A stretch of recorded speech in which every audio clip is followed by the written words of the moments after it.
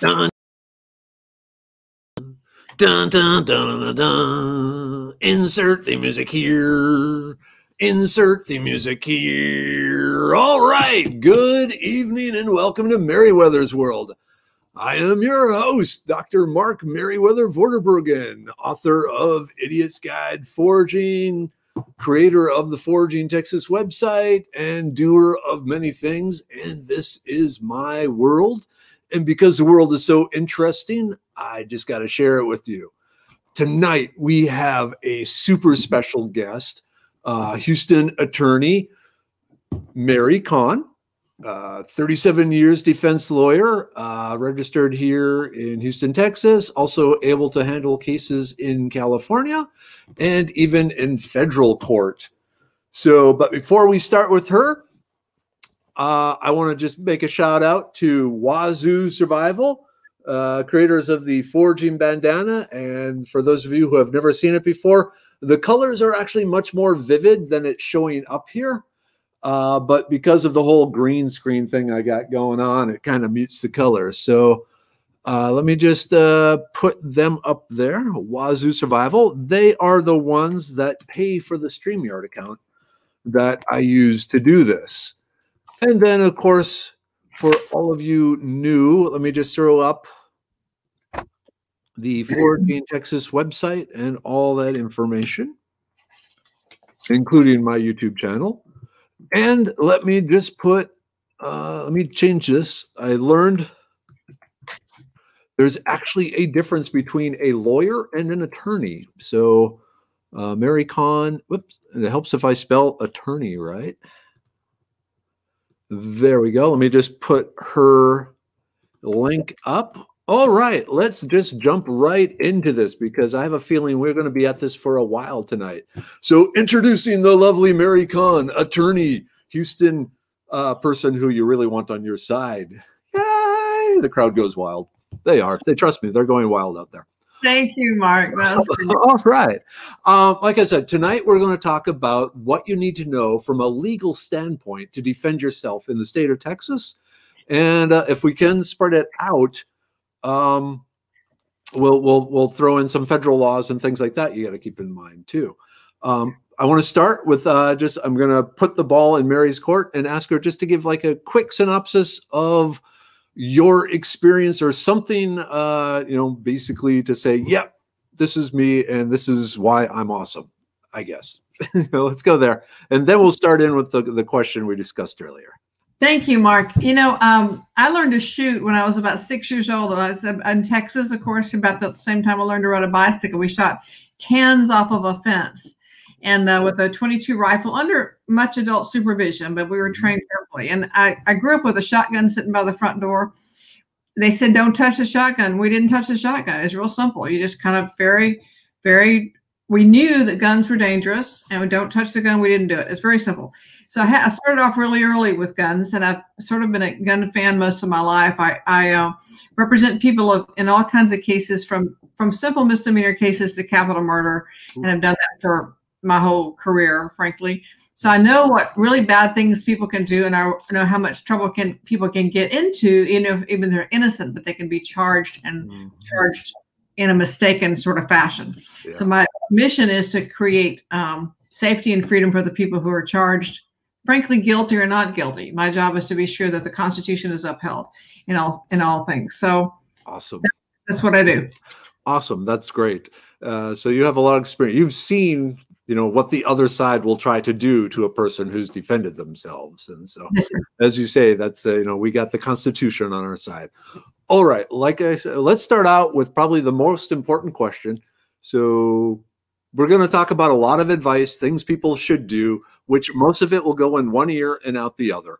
So if there is one thing a person should do let's say they have forced been forced to defend themselves there is someone laying there, you know, from you know being hit by a car, gun, knife, whatever. What is the one thing a person who hasn't done anything else to prepare for being in a self-defense situation, what should they do? If you are in a situation and you have shot somebody or or killed someone or injured somebody, first thing you do is call the police say there's been there's there's been there's been a crime. I'm a victim of a crime. I need an ambulance, two ambulances. If assuming there's one perpetrator, one injured person, and you, you need the ambulance for the for the victim for your for yourself, the victim, because you're maybe having a heart attack, you have heart palpitations, you're afraid of your health, you're you're extremely distraught, and of course the person that is injured now. Uh, I would okay. hope and pray that nobody goes into a, a situation like that unprepared. Please, if I don't say anything else, do not ever handle a firearm unless you're trained, experienced, practiced, because there's nothing like having a gun and, and, and holding it and having some guy come up and take it away from you and shoot you with it. Hmm. It happens all the time. There's also nothing like the thing in, and I think it was Missouri, with a woman and her husband, they're, they're standing at the gate of their home where people have broken through the gate of the neighborhood and they're standing there. Well, she's brandishing a, a pistol, unloaded, as I understand. He's brandishing some rifle, unloaded or un, un, unavailable to shoot they're arrested and charged with whatever they're charged with. In other words, if you have if you were a trained gun holder or a gun person, you would know you always keep your gun at low ready. You're prepared to raise the gun, but you never raise a gun unless you're prepared to shoot, and you certainly never touch the trigger unless you're prepared to kill. Mm-hmm. Definitely. Okay, I like the thing about the two ambulances where you you immediately tell 911 that you need an ambulance for yourself because you feel like you're having a heart attack. That definitely buys you some time and uh you know just just and actually yeah May Mark you really just say I need two ambulances. There's two people here that need an ambulance. And don't give any more detail. Mm. But just you need the police and you need two ambulances. Okay, that's right. You mentioned uh, earlier in our discussions, you know, the less you say, the less can be used against you, basically. Right. That's always the case. Yeah, until like you're in the room there, the lawyer that they've called is there too. Okay, so let's jump back to tomorrow, if that makes sense. What should the people actually be doing if, you know, let's say you have a, a concealed handgun license or a CHL here in Texas, or even like in Texas. Whoop, did I lose you? Hello? Hello? We lost you again. Just a minute.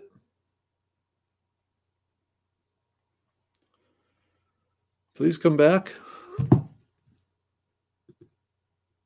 Where did you go? All right. Well, what I was saying, um, yeah, I mean, if you have like a knife or whatever you're defending yourself with. Hello?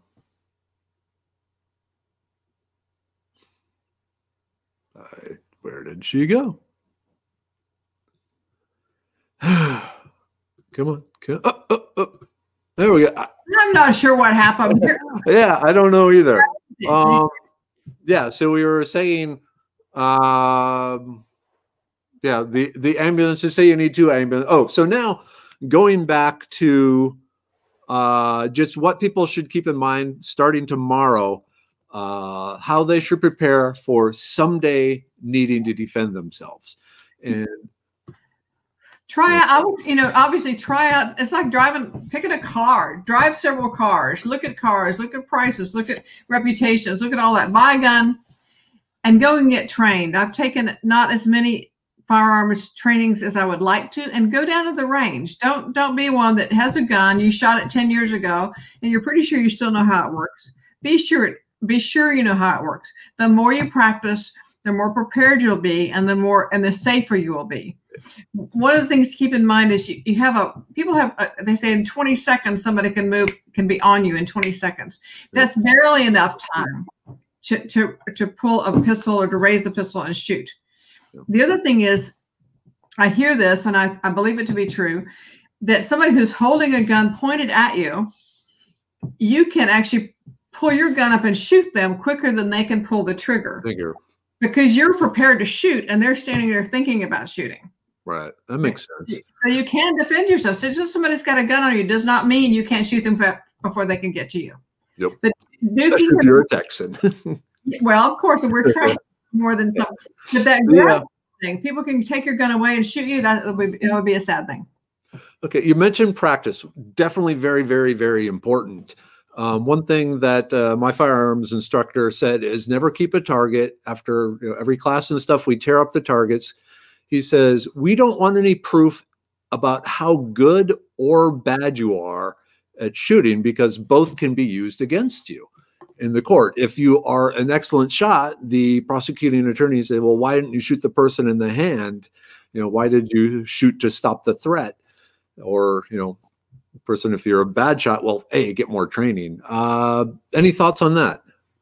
You know, I, I haven't. I actually hadn't heard that before. But you hmm. know, if you if you shoot somebody in the hand, anytime you're in a situation where you're in fear for your life, and we've probably seen enough movies. The guy laying down on the ground, you think he's dead. Guess what? He pulls another pistol from his waistband and kills the, the his victim. Yeah.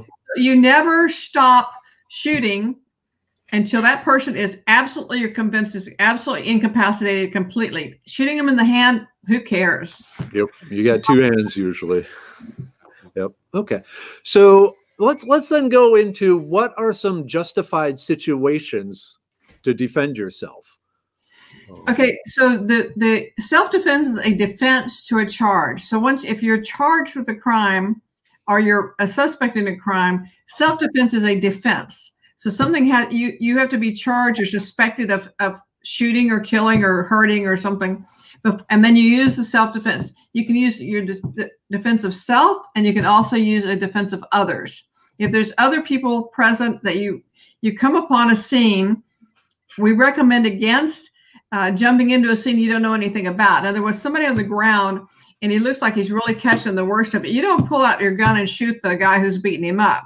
You don't know but what the guy on the ground has actually been the first aggressor and almost killed the guy who's now beating him up. So we don't if you don't know the facts, if you don't know the mm-hmm. situation, but if you're at home and and you have or you're at a friend's house and you have a right to be there, you need to have a legal right to be there uh, then you can defend others. If somebody tries to attack or injure people there, you can you can defend yourself and and or others.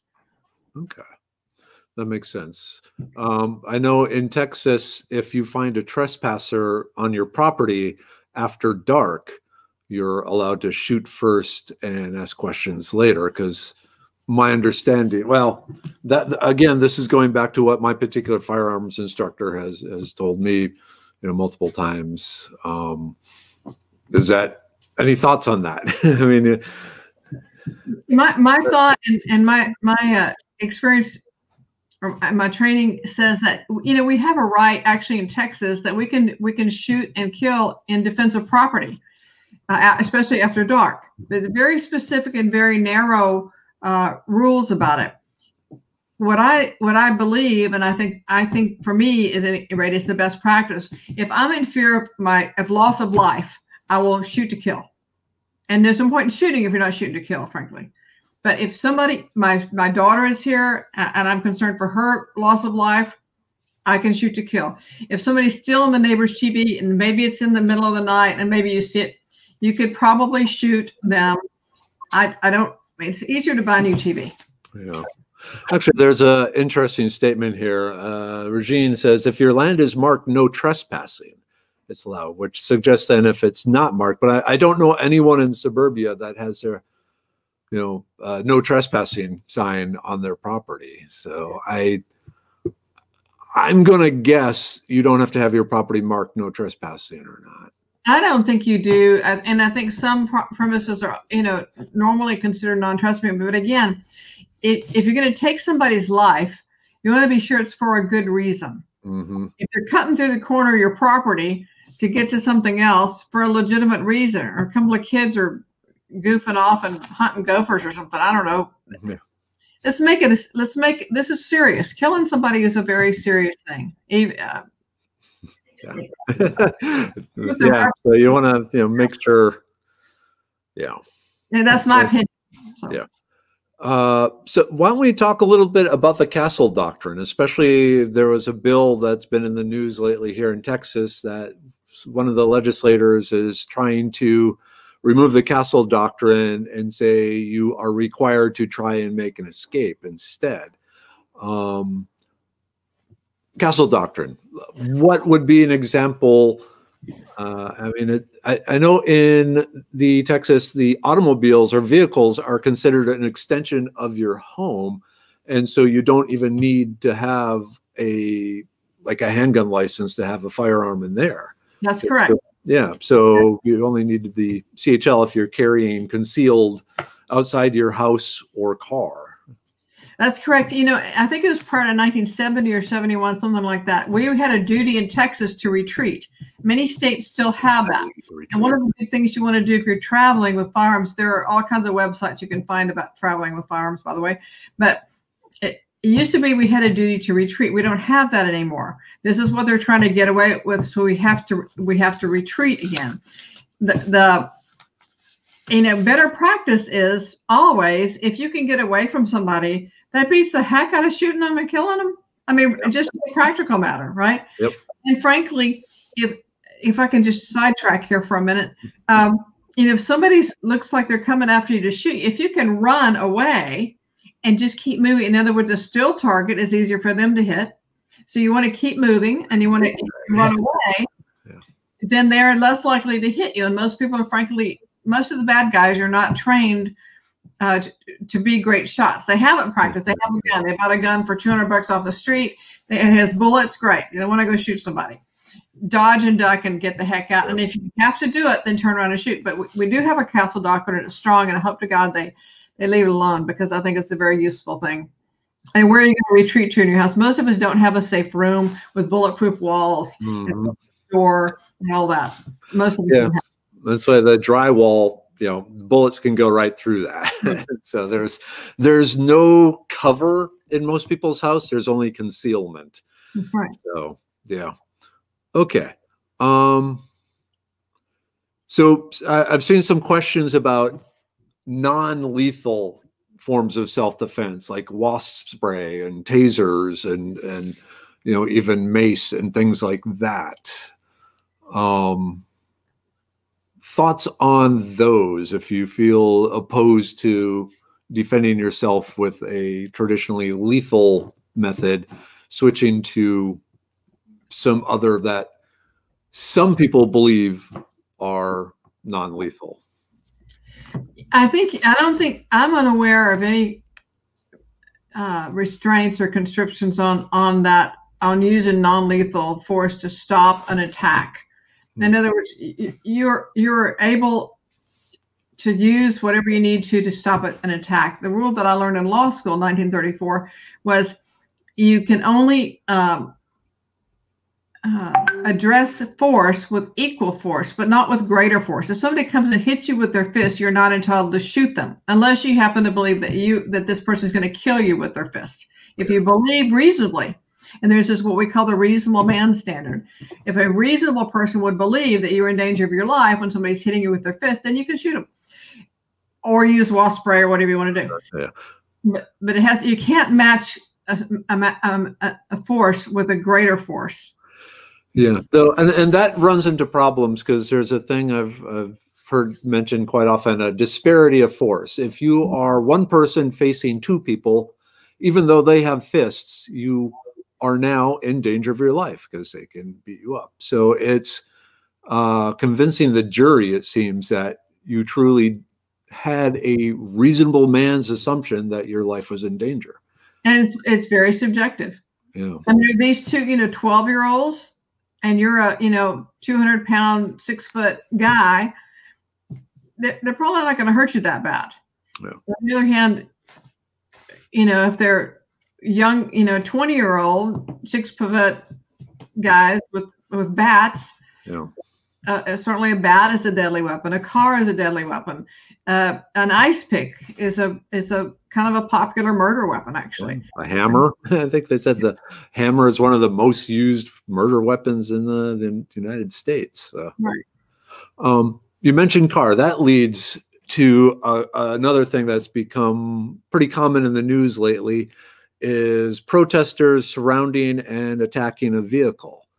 At what point, and I guess it, it kind of depends on the person when they feel their life is in danger. So, you know, breaking a window, that's one thing, but then reaching through the window and trying to grab it, that point you're in danger. Um, It's it's again, it's very subjective. And what you've got to do is you've got to be the guy that is number one, keep your mouth shut no matter what, talking to the police. You do not ever talk to the police ever without counsel. And that's just a rule. And that's the number one rule that I have that whenever I talk to anybody, just keep your mouth shut. Um, if somebody's coming into your car and you're in fear for your life, then you can use force to stop them. I would recommend, of course, using less than deadly force to stop them. Hit them back, hit them with your crowbar, hit them with your what your purse, with something. I say hit them with your front fender, you know, just but but yeah, but yeah, but again, a car is a deadly force. If you mm-hmm. hit somebody with a car, I mean, I, I don't want to be in that position, frankly, yeah. ever, of course, and probably nobody does. But it is very subjective. So you have to be able to show that you or anybody in your position would have been in fear of of um, of, um, of, of, of loss of life. Yeah. And it's loss of life. It's not just being hurt a little bit. You know, they're, I'm afraid they're going to beat me up and hurt me. Well, okay. Mm-hmm. That leads to the thing. Uh, let's say you're in the process of defending yourself, and so they meet. You know, they started it. You meet force with force. They respond with greater force to stop the threat. Um, have you seen a situation where that where the well, I know again with the concealed handgun uh, license, they say don't pick fights. Right. You know, if someone's mouthing off to you, walk away. You know, right. you, you don't, uh, and you certainly don't want to be the person pursuing someone. You know, calling them names or whatever. So, uh, thoughts on that? You know, like uh, again, I assume just get out of out of the trouble. You know, some other way if possible. Avoid avoid conflict. Just avoid it. And if you're carrying a weapon, again, be sure that they can't take it away from you and use it against you.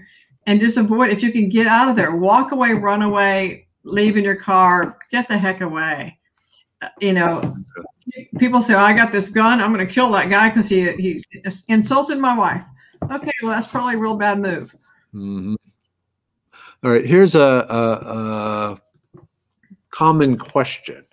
Uh, I had a policeman tell me never to fire a warning shot. Is that correct? Absolutely. If you're going to, anytime you pick up your gun and you get it above your waist in a ready position, a, a normal ready position, not a low ready position, that's what the instructors will teach you. If you don't know, you're ready to shoot. When you put your finger on the trigger, you're ready to kill that's the only time you ever put your finger on the trigger, you're going to kill something.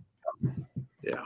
No warning shots. And that leads to one thing. I mean, are you thinking shooting up in the air or something like that? Because you are responsible for every bullet.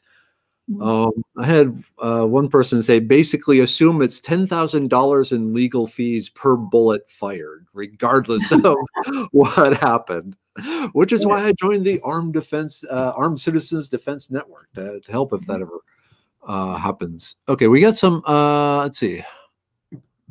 Okay, this is it, especially in Texas. I don't have a handgun license and walk miles some days. Uh, was told by a police officer that I could carry a rifle and would have police protection all along my walk, as if folks seeing me out their window will think I'm a crazy lady up to no good and will call them to check me out. I haven't, as I'm unsure if I can legally walk down a public road with a rifle for sure.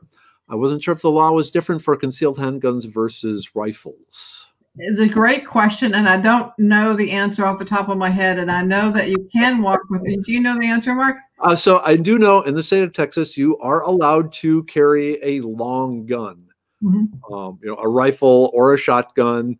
Um, you, if you are walking around in a threatening display of it, mm-hmm. problems will start. But if you have it slung over your back, or as you said, at a low ready uh, the police will probably be called and talk to you, but there is nothing that can do. And especially in your case, Rebecca, uh, you know, if you explain why you're carrying it, because you have to walk these roads for whatever reason.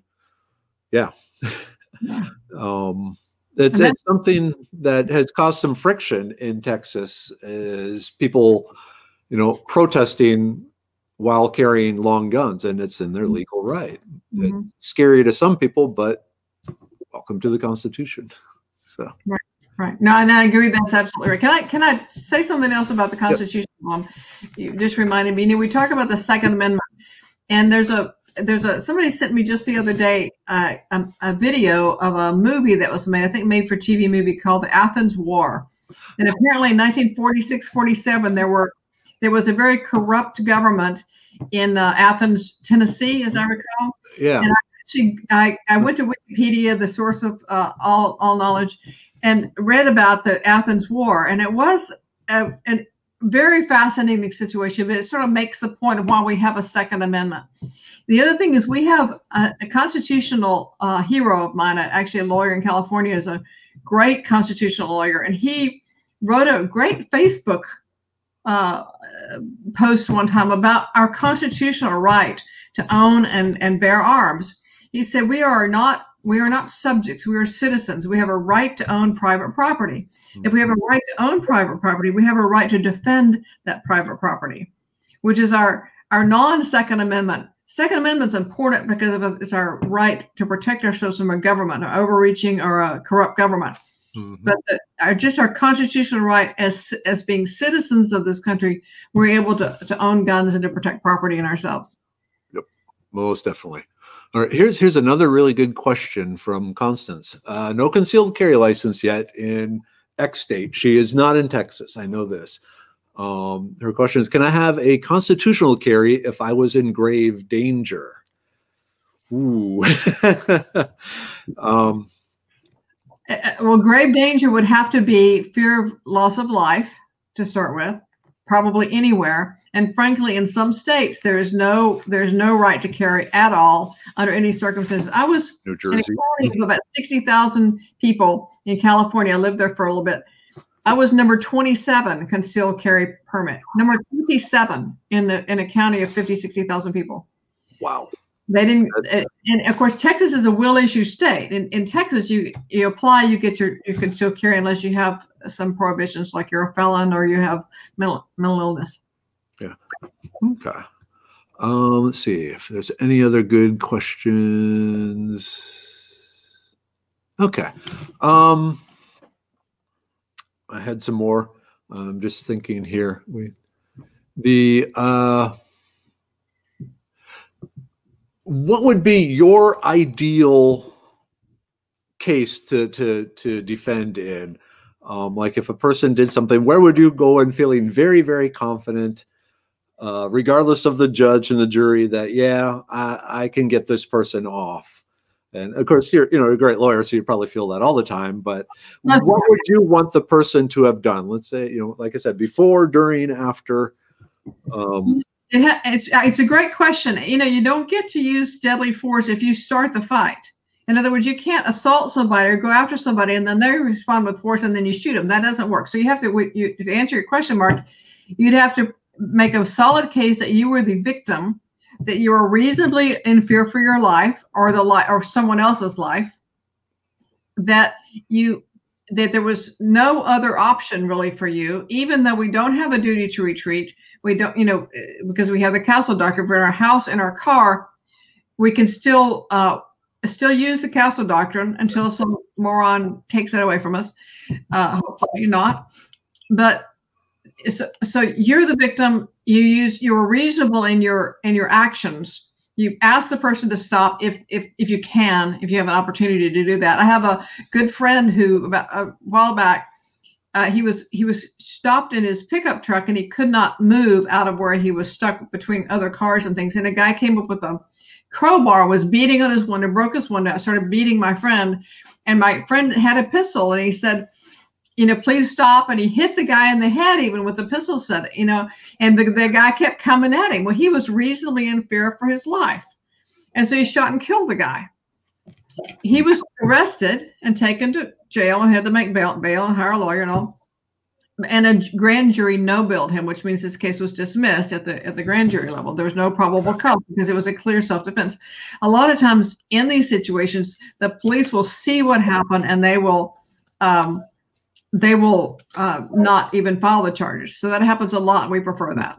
Okay. Yeah.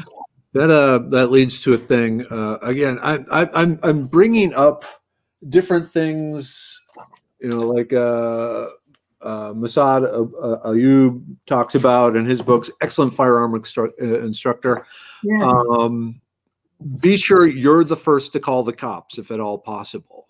You don't want to like try and you know run and even wait 10, 15 minutes. You you know immediately call the cops because uh, and here he mentions a lot of time whoever calls first is usually the one that gets believed unless there's you know just obvious signs that there was shenanigans going on any thoughts on that or I think that's probably usually true, especially in these situations. Although I do see a lot of cases where, uh, frankly, especially with the virus, you know, people are at home and people not used to being at home together and they get into arguments and somebody pushes somebody and, and somebody else pushes back and one of them calls the police.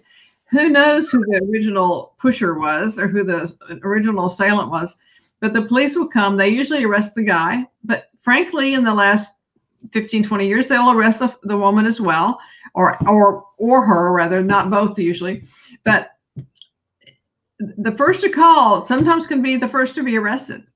That Mm. guy will sometimes be arrested if the police believe that they were the one that were was really the bad guy in the situation. So it's just important. Number one, don't talk to the police. My rule is avoid police contact if possible. It, uh, frankly, if there's a police car at 7-Eleven and I'm not committing any offense other than possibly speeding, which I want to do, but I want a Coke or something. I and there's but there's a police car at the 7-Eleven. I go to a different 7-Eleven. I mean, remember the police job is to is to is to detect crime and to arrest people. That's their job. Yeah. And frankly, they'd rather arrest some really nice person than chase some guy on meth with a knife that's Mhm. around stabbing people. So they can arrest some really nice person and take them and spend the rest of their evening processing that person. They did a pretty good shift. So I makes sense. Yeah. avoid police contact. If you do have police contact, the, the number one rule is you don't talk to them. Oof. I'm sorry, I can't talk to you. I'm sorry, I can't talk to you. I'm sorry, I can't talk to you. Speaking Sie Deutsch. okay, so Michelle asks, is disparity of force a real defense? You know that that's a really great question. It, it certainly can be. Again, if three people come to one uh, person, and, and I mean, for example, a- an elderly female with three young stud muffins attacking her and trying to do her bodily injury, and that's clear. But again, it's very subjective. So you have a right to use force if you believe that your life is in danger. And like you said, it's it's not like sometimes in TV shows and stuff you hear, you know, beyond a shadow of a doubt and things like that. But you use the phrase uh, a, a reasonable man would feel that way. So like the average person. Okay. Okay, here's here's a really good question. What is the typical cost for defense? You know, if you had to self-defense and you let's say you end up in court, uh, how much do you think the the person win or lose are they going to end up shelling out? I'll tell you a secret about criminal defense law. We we, we say we're like vending machines, money in, work out. Um, if, if we if we lose a case, we did a bad job. We don't deserve to be paid. If we win the case, you had a good case. You didn't really need us. So the rule is you have to pay up front. That's typically the case. Some if you have a public defender, of course, that's a whole different ball of wax. But typical cost, I would say, in Texas, especially in a well in a suburban area like Houston, you're going to pay at least twenty thousand dollars as a, as a as a starter. As a starter, Yes, sir. Yeah. And it's something like a like a a, a murder or capital murder that goes to trial is going to be 100, 150,000.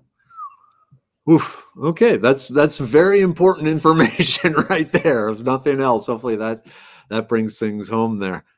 Okay, another question from Constance. Uh, does the Second Amendment allow me to defend myself or my family in imminent threat? And I will mention again that she is not located in Texas. She is located in another state. Um, but is there any state that says, well, okay, there are a number of states, like you said, that you have the duty to retreat. Mhm. So I guess Constance, you, you- depending on what the rules of your state are, you probably need to look that up. If you are required to write, you know, try and retreat. Um, but if you are trying, let's say you are cornered in your bedroom and the only way out is through, you know, the threatening force. I got to think even in states like New Jersey and Delaware, you know, at that point, you know, whatever you use to stop the threat would be legal. And as a lawyer, how do you think that would play out? Two things. If it's a threat of, of death, if you're reasonably in fear for your life or someone else's life, and then secondly, I would say again, it's not the Second Amendment that that allows you to defend yourself. You have a, you have a right as a human. You have a right to defend your property. So those are the rights constitutionally, because again, we're we are not subjects. We are citizens. Um, yeah, and oh, every yeah. state has different rules, and so it and it's they, they can be pretty wanky. Yeah, one thing people need to remember about the Constitution is it does not say the Constitution and the government are not the ones that give you the right. As a human, these rights are innate by the mere fact that you exist. It's just codified that the government cannot infringe upon those uh, rights. Okay, uh, here's a, another good question. Uh, your thoughts on castle doctrine in relation to the social unrest we've been seeing? Whoops, sorry. Actually, David, we're going to get back to that one. There was okay. Here it is. Okay, uh, we all know that traps are a bad idea because they can trigger indiscriminately, but are traps legally covered under the castle doctrine? My understanding and my instinct is no. There was a bunch of law about that uh, 20, 30 years ago uh, because there were a bunch of cases about it. Traps are, I don't believe, are legal, period. A trap that is going to cause serious bodily injury, death to an intruder, I don't believe they're permitted. Yeah, and my understanding is the same. The law is against that, especially because a trap, you know, it's kind of set for when you're not there. Mm-hmm. So the claim of, you know, in fear of bodily harm, you know, mm-hmm. uh, I know that became really big when the the first Rambo movie came out. That seemed to cause a lot. Okay, uh, and now with uh, David's uh, multiple people versus one person that to me sounds like disparity of threat. Uh, if there's several people coming after you, the risk to you goes way up. That's right. And but again, if the if the reasonable uh, re, the reasonable man standard, a, a, reasonable person standing in your shoes would have believed that you're in you're in serious danger of imminent bodily death or injury, uh, bodily injury or death, then you're entitled to defend yourself by whatever means necessary. And certainly, if they're presenting deadly force to you, you're absolutely entitled to use deadly force, one or more. That brings up a great question. Let's say they're chanting like "kill the you know person," or you know they're they're at least vocalizing that they want to do violence to you, so Sticks, they haven't yeah, begun to actually beat on you. you know? Sometimes may break my bones, but words will never hurt me. Right? That was a mm. thing we learned as children. So. Yeah you know that my theory of, of this day and age is everybody needs to get some skin and everybody needs to be nice. And we don't have just the fa- so just the fact that they uh-huh. are chanting they want to kill you is not enough to, absolutely okay. that makes sense. Okay um all right uh let's see. So there are several people again asking about the cost the legal cost of defense. So we already heard it's like you know probably around $20000 to start and can go up you know into the hundreds of thousands. There are several people asking about the concealed uh, carry insurance. Um, there's like Texas Law Shield and sort of things. And again, my understanding is yes. In fact, that's pretty much how I found you. Uh, right. Like I'll, I'll just throw it up here. The Armed uh, Citizens Defense Network. After mm-hmm. looking at all these, there's there's a bunch of different types. Um, and they have different rules and regulations and what are they some like just cover you know firearms some cover any sort of defensive some only cover while you're in texas and all this stuff. After looking at all of these i settled on the armed defense uh, network armed citizens defense network. Is pretty much any form of self-defense anywhere in the country though they do have some issues in the state of washington um, but they seem in my opinion the best choice and actually, uh, it's already wow. We're we're going really fast. Good questions and stuff. Uh, I just need to throw out a quick sponsor because there are people that keep the show going by giving me free stuff. So of course, Uncommon Bees, uh, the honey, and if you use the Forking Weeds discount code, you get twenty five percent off any orders there, and they have a ton of stuff. Check them out. And then for my bushcraft buddies, those that go out camping, hiking like they're cavemen and cave women, Campcraft Outdoors, maker of non plastic outdoor gear. So check them out and use the Take 10 coupon and you get 10% discount. So, okay, now back to interesting stuff. Sorry, sponsors, but lawyer, free lawyer for an hour, you know? Okay. Pay me. Um, Um, let's see. Uh, oh, wait, wait, wait, wait. No. So for a hundred thousand dollars defense, wouldn't it be cheaper to just hide the body? I know you're choking, but we really don't want anyone to think this because secrets get found out. honestly, uh, my mentor 100 years ago taught me that you know murder is really the simplest crime to get away with because all the witnesses are dead. Hmm. Uh, people usually will be found out, and it is is the de- I mean there are as you know the unsolved murders and unsolved whatever crimes, and that's been going on. But those with DNA, it, it- people are are getting found. People are getting found. Um, there are people who are afraid to do the DNA genealogy stuff just because they're afraid that they'll somehow their DNA will be used to track somebody in their family who committed a crime, yada yada. Hiding the body, frankly, in the 40s was probably a great idea. Not so much anymore. Or more. Yeah. That makes sense. Okay, here's a good question uh, involving dogs. Uh, so this person lives out in the middle of nowhere. I know this. Uh, illegals travel through my area all the time. I have acreage and livestock, including livestock guardian dogs. If my dog attacks a trespasser, am I liable? Well, That's, I mean, that is a law school question, frankly. Um, and I'm trying to remember what they taught me.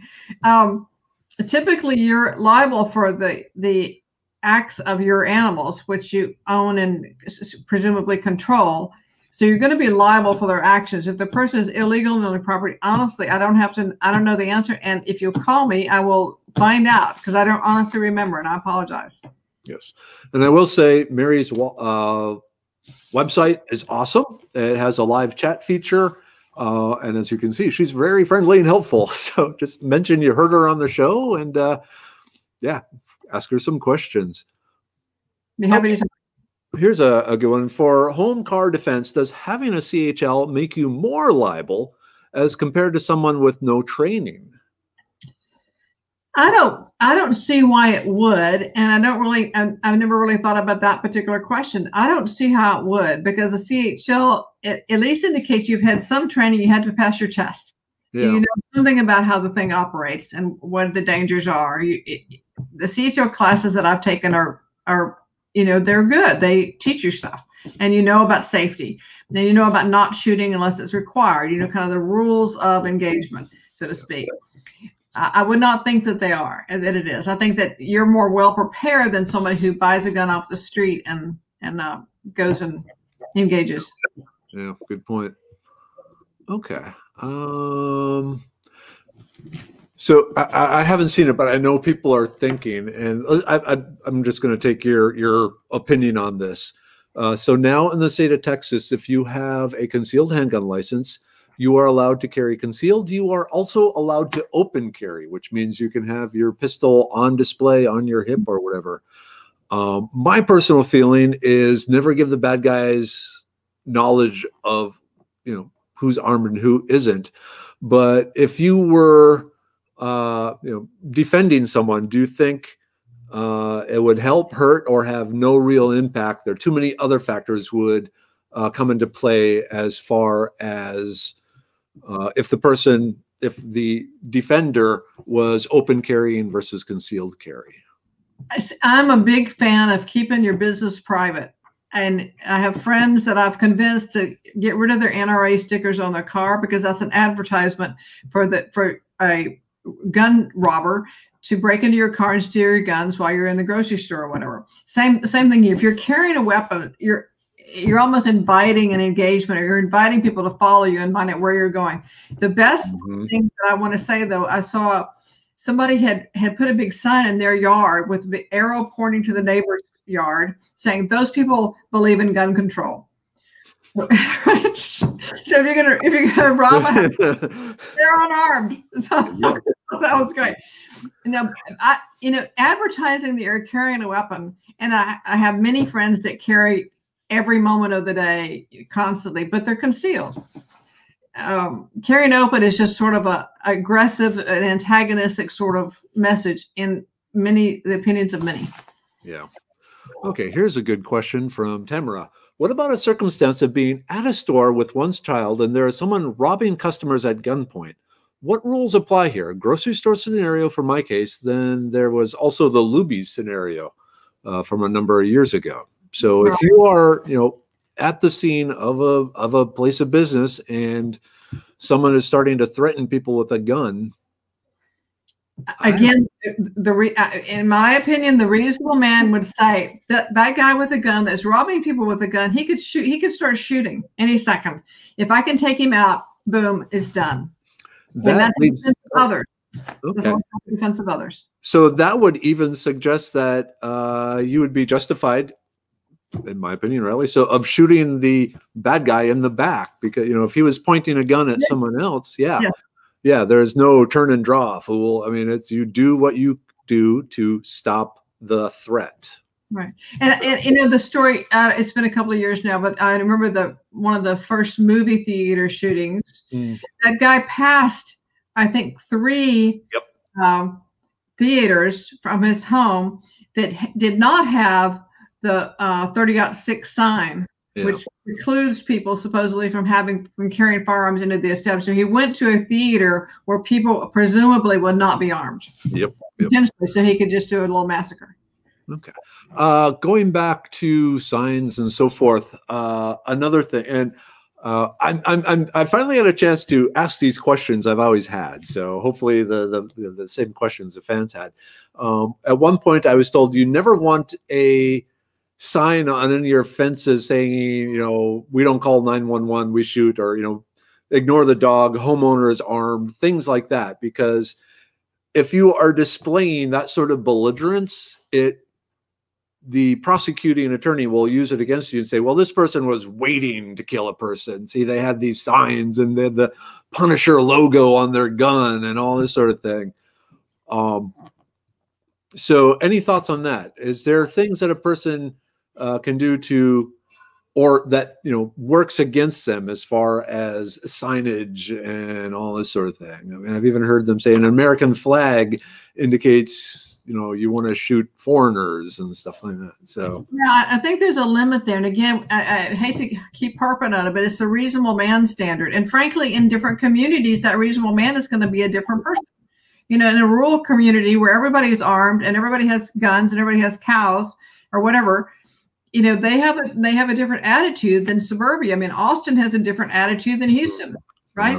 Yeah. Yep. Uh, New Jersey has a different attitude than than uh, Texas, I- and so anything that you do to display your sort of willingness to engage or to be involved in gun gun shooting or gun uh, fire exchange, I think it doesn't look good. I think it's not good for you. I mean, you want to be the guy who's just straight and straight and narrow. And I don't, but I don't, I don't go as far as saying the American flag, but some people sure would, right? Yep. We, we were, I was raised to honor the flag. We, you know, we stand when the flag is, is um, presented. So respect thing. Definitely. Okay. Um, here is where was it? There it is. So Kathleen has asked: Is fear of bodily harm from rape a defense to shoot? That that's serious. That's a, a serious bodily harm thing. And rape used to be a death penalty uh, situation in Texas. I don't know when that law changed, but um, rape is considered serious bodily harm, and certainly a rapist can can cause serious bodily harm. So yeah, Yeah. Yeah. So that would be a situation where the reasonable person would assume that the, the person was justified. and again, this is where you don't talk to the police. You know, you talk to your lawyer. If somebody, eh, for example, starts or comes in and tries to rape someone, they don't know if that guy's there to rape them or to kill them or to ki- ki- kidnap them or what. Yeah. And those things can also be federal crimes as well. And so you have a right to defend yourself. Okay, here here's a question that's probably better for a instructor rather than a lawyer. Um, but um, she's asking, isn't it the use of layers of defense best dog, wasp spray, and if they keep attacking, then a handgun? Um, I don't disagree with that, but again, the question is: Are you in fear of serious bodily injury or death? And yeah, I, I would think rapid response. You know, it depends if you have time to go through yeah. those. Yeah. Exactly, and, and it's a matter of if you if they'll go away with you know with wasp spray, then great. They went away, and you jump in your car and drive away, or you you know you do whatever, you run away, and you get to a safe place. All of that is better than shooting. Okay, here's a a, a good one, and I think this falls into loss of property. Uh, uh, what's the law when it comes to poachers on your property, whether they are taking wildlife or your livestock? I understand I need to be threatened to defend my life, but is there still old uh, uh, in place uh, in our laws in place in favor of landowners?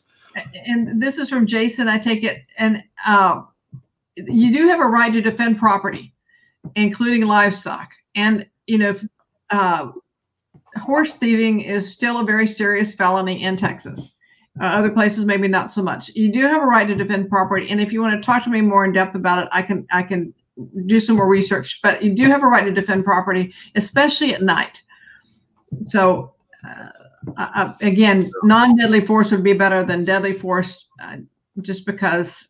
Yeah, but again, yeah, if someone's stealing your cattle, that's a huge financial loss. So. Right. Right.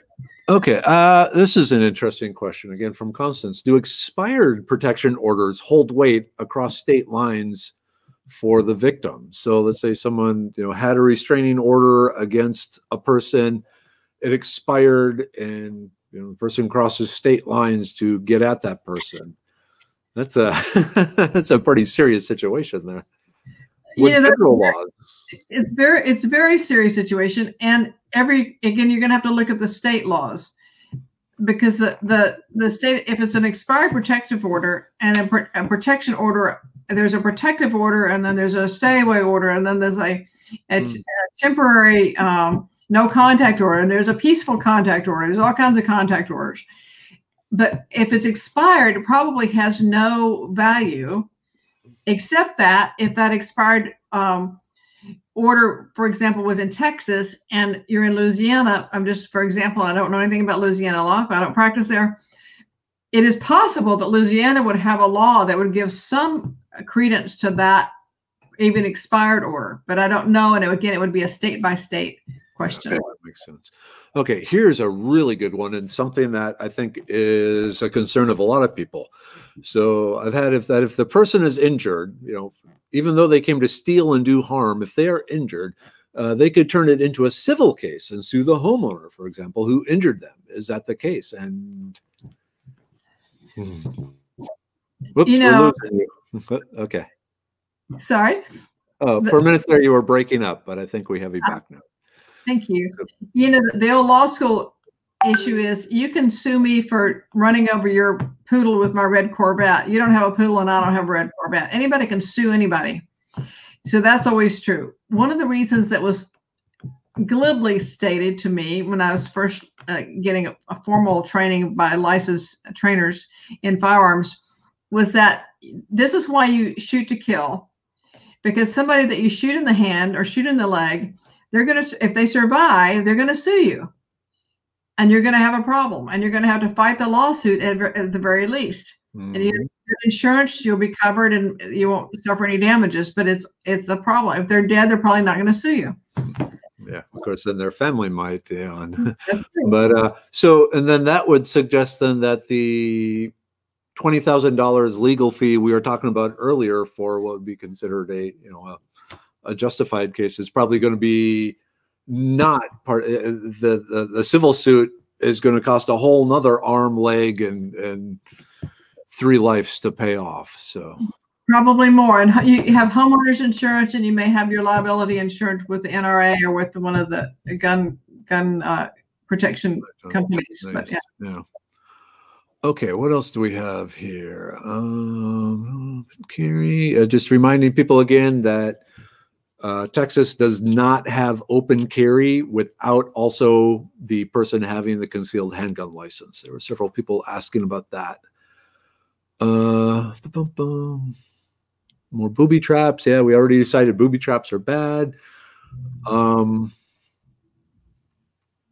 let's see. Going back to what you said at the beginning, for people who weren't here, uh, you've you've been forced to defend yourself, and now you know you make you said you call 911 and ask for two ambulances. Can you go over that again? Or you know however you know x plus one ambulances with x being the number of people that you had to stop because you felt threatened. Yeah you call you call the 911 tell them you need police. There's been a crime there's been a you're a victim of a crime and you need two ambulance or or, or, or one plus however many perpetrators there are that are injured. Yeah. And yeah. that's and then that's it that you don't talk any further. Then when you're in the hospital or on the way to the hospital you call your lawyer you talk to your lawyer you tell them what happened. Uh, you, if you have insurance uh, one of the companies we talked about that mark talked about you want to um, be sure you talk to those people as soon as possible. Yeah that makes sense. So okay. Yeah so you don't even you know when you say don't talk to the police that even includes 911 really then you know because they're yeah. they're the police yeah. Well, and they they 911 operators are trained, as I understand it. They claim that they can detect whether or not the person who's doing the calling is a perpetrator of the crime. They say they can detect by the by the things that they will say. They can by their mm-hmm. by their tone, by their whatever. So I'm like, yes, okay. And people read, you know, tarot cards too. But I don't I don't you don't want to say anything more than is necessary.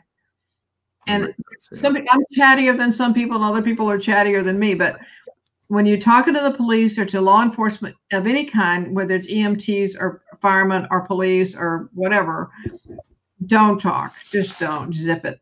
Hmm. I guess so. Doctors and nurses, then, who I guess that well, even then you don't want to say anything about the kind. You just want to like describe the symptoms you're having that you know had you concerned i guess you know un, until the lawyer is in the room that can put their hand over their mouth and say shut up. Yeah we charge extra for people that talk. No just kidding.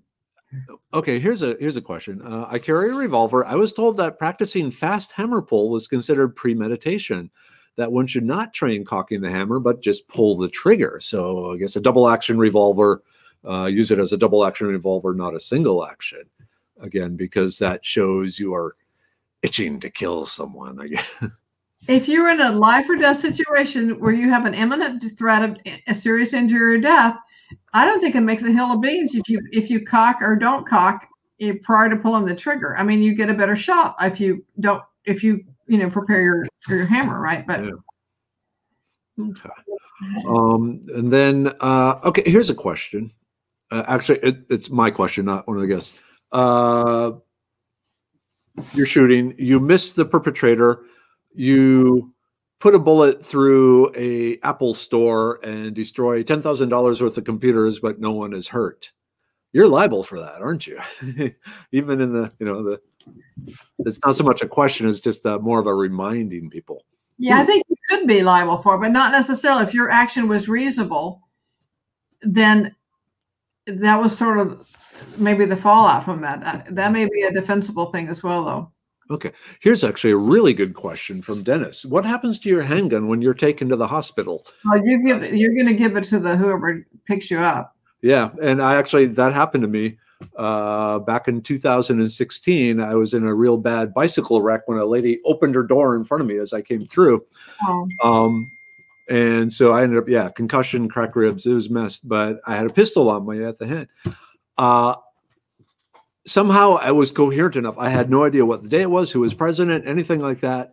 But I was able to tell the ambulance person that I did have a licensed handgun in my pocket.